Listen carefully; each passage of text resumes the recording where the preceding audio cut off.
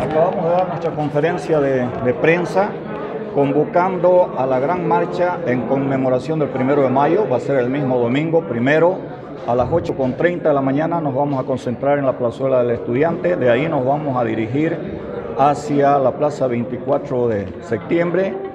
Eh, como siempre lo hemos hecho históricamente, en la plaza vamos a instalar nuestra tarima para que los diferentes sectores, los diferentes dirigentes hagan uso de la palabra y puedan elevar su voz de protesta, de festejo, eh, desde la plaza 24 de septiembre. El tema del aumento salarial, que una gran parte de eso es eh, un tema de reposición prácticamente a la pérdida del poder adquisitivo. Lo acabamos de declarar nosotros insuficiente ese 1.5%, por cuanto eh, eh, en el 2020 ni siquiera no han mirado el, el pliego petitorio. El año pasado ha habido un 2% de aumento al mínimo nacional y este año creo que eh, en plena recuperación y reconstrucción de la economía del país corresponde que haya una consideración de nuestro gobierno nacional para con los, trabajadores, que somos parte fundamental, estratégico del crecimiento y la recuperación de la economía del país.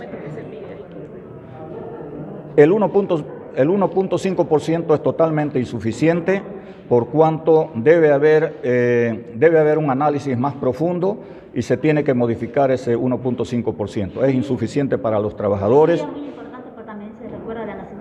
Sí, sí, el primero de mayo se recupera el 2006, se nacionaliza, se recupera nuestros recursos naturales, se devuelve este, yacimientos al pueblo boliviano, se invierte ese 82% que se llevaban las transnacionales y ese 82% que era, queda para el pueblo boliviano y el 18% queda en manos de las transnacionales. Gracias a la nacionalización hay recursos para la gobernación, hay recursos para la universidad, para los municipios.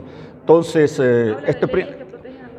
Sí, con toda seguridad eh, el presidente va a hacer, eh, desde Oruro va a hacer anuncios importantes de protección para los trabajadores, por cuanto hay una sistemática violación a los derechos de los trabajadores.